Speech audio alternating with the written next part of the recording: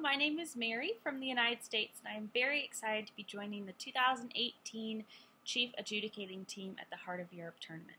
I truly believe that debate is the single most important and educational thing you can do during high school to prepare for college and your future career.